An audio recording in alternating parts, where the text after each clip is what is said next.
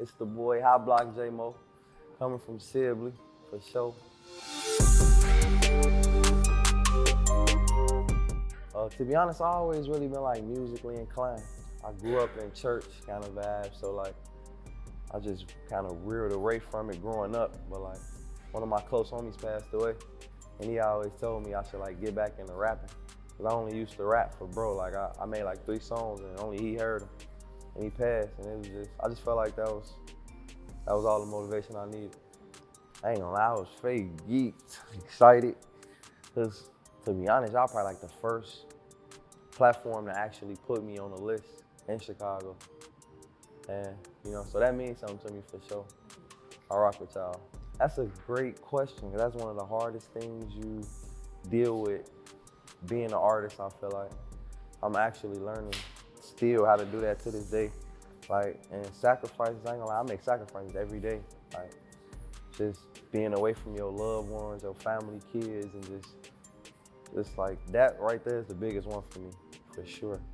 That's another one too. To be honest, I just stay like, stay locked in as far as like on the internet, YouTube, and just I really look at the comments and like I be asking.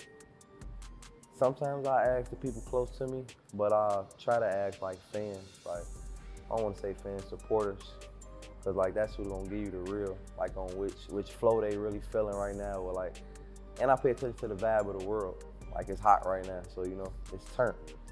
Don't just be yourself. Ain't nothing wrong with being you. Cause I'm, I'm real versatile, I feel like, well, I feel like I am. So like, that's kind of different in my eyes. It just ain't drill. Like I do melodic and coming from where we come from, you just supposed to be in that type of box. But nah, man, be you, be different, come hard for sure. I don't know. I don't really feel like I'm in the industry yet, but like on the outside looking in, I just feel like if people was more genuine, like you know, niggas be fake as hell. I don't know if you, that ain't really first word.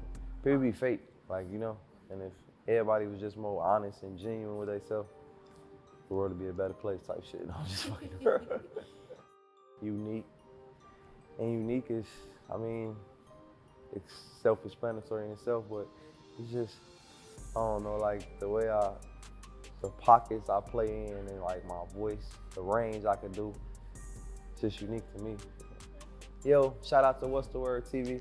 Appreciate y'all for putting me on the artist to watch list. It's Hotblock JMoe tuning in.